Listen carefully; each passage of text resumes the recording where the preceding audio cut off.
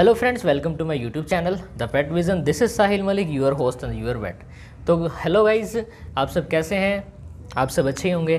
तो गाइज़ आज का टॉपिक आपको पता ही चल गया होगा मेरे थंबनेल से, जो मैंने थंबनेल में डाला हुआ है कि मन की बात में हमारे मोदी जी ने, हमारे प्राइम मिनिस्टर ने ये घोषित किया है कि इंडियन डॉग ब्रीड्स को भी आप अडोप्ट करें।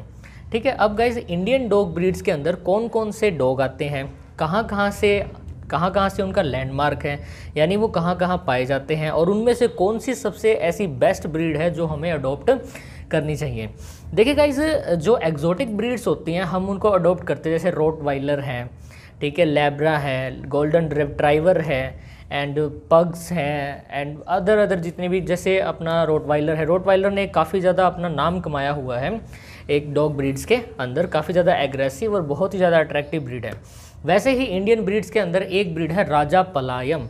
यानी जिसे राजा पला पलायम या राजा पाल्यम भी आप बोल देते होगे ये ब्रीड है।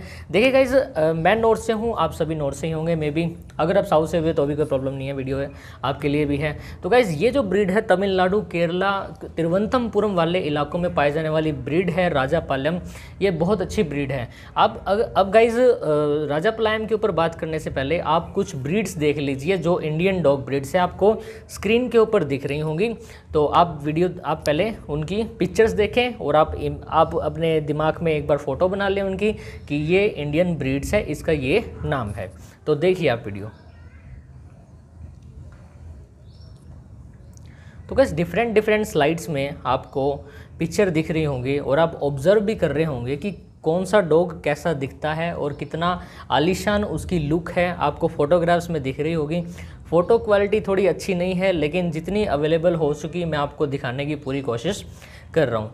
तो देखिए गाइज़ अब स्लाइड शो ख़त्म हो चुका है। अब हम बात करते हैं राजा पलायम के ऊपर। देखिए गाइज़ जो राजा पलायम डॉग है, वो आपको दिखने में बिल्कुल देसी टाइप लगेगा, लेकिन वो देसी नहीं है। देखिए गाइज़ देसी भी ब्रीड जो देसी, जो डॉग है, उनको भी हमें अडोप्ट करना चाहिए बिकॉज़ वो भी एक प्यारे डॉग होते हैं, बहुत ही ज़्यादा सेंसेबल डॉग हैं और काफ़ी ज़्यादा उनमें ह्यूमैनिटी तो होती ही होती है क्योंकि वो एग्रेसिव नहीं होते इतने ज़्यादा। आपको एग्रेसिवनेस से छुटकारा मिल सकता है अगर आप एक स्ट्रीट डॉग को अडोप्ट कर रहे हो तो।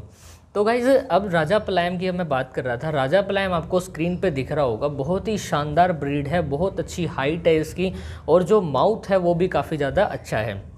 देखिए गाइज़ अब मैं इसकी बात करता हूँ प्राइसिंग की। अगर आप ये सोच रहे हो कि मैं मुझे ये राजा पलायम एडोप्ट करना चाहिए तो इसका प्राइस गाइज़ अगर आपका बजट 15,000 से 25,000 के बीच में है देन आपको ये ब्रिड अच्छे से अवेलेबल हो जाएगी।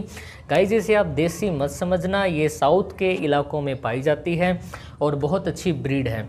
अब गाइज़ इसके कुछ डिसएडवांटेजेस है। वैसे ऐसा कोई मेन डिसएडवांटेज नहीं है, ये हर एक वेदर के अंदर सरवाइव कर सकता है। लेकिन अगर जोन से एरिया जो एक्सेसिव कोल्ड वाले एरिया है, यानी जहाँ पे बर्फ़बारी होती है, वहाँ पे इनको सरवाइव करना बहुत ही मुश्किल होता है।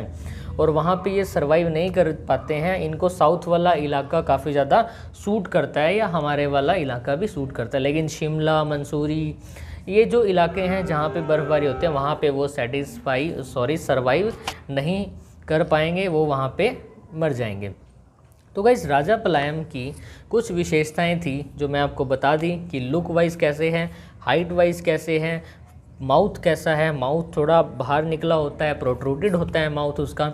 हाइट भी काफ़ी ज़्यादा अच्छी होती है और गाइज़ ये भी कहा गया है कि जो पुराने ज़माने में राजा महाराजा हुए थे इंडियन जो राजा महाराजा थे, उन्होंने उन्होंने इसी डॉग को अपना एक पेट बनाया था सबसे पहले। ये कहा जाता है, मुझे, मैं भी श्योर नहीं हूँ कि ये सच्ची बात है या नहीं है।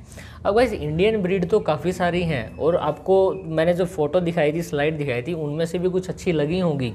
लेकिन कुछ विशेष बात थी राजा प्लाइम की डिमांडिंग के अंदर, ठीक है? तो इसलिए मैंने आपको ये बताने की कोशिश कर रहा हूँ कि जो राजा प्लाइम डॉग है, वो भी एक अच्छा है। देखिए इस मोदी जी ने मन की बात में जो ये बात बताई, बहुत ही अच्छी लगी। हम वेटनेरियन होते हुए हमें काफ़ी ज़्यादा प्राउड फील हो रहा है कि हमारे प्राइम मिनिस्टर श्री नरेंद्र दामोदर मोदी जी हैं।